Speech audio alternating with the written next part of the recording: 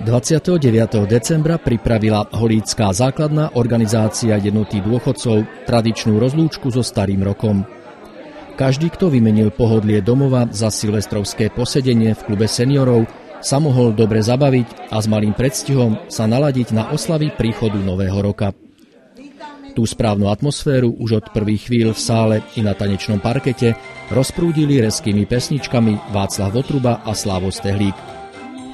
Uprostred pulzúcej zábavy zavítal medzi holických seniorov primátor Zdenko Čambal a pozvanie prijal aj vedúci oddelenia školstva, sociálnych vecí a zdravotníctva František Janeček. Spolu s ostatnými aj tento raz zažili rozlúčku so starým rokom, ako sa patrí. Organizátori podujatia príjemne prekvapili originálnou humornou scénkou s príznačným názvom Holky z našej školky.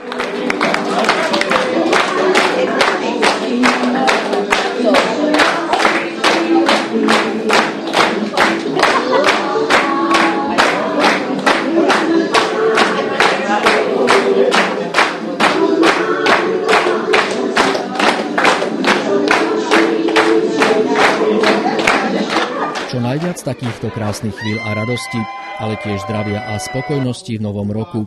S týmto prianím holíckým seniorom pozdvihol primátor pohár vína k spoločnému prípitku, ku ktorému sa všetci pridali s borovým živio. Priestory klubu seniorov potom už celkom ovládla silvestrovská nálada. Pri hudbe, tanci či v kruhu priateľov sa tí najvytrvalejší vydržali zabávať až do druhej popolnoci.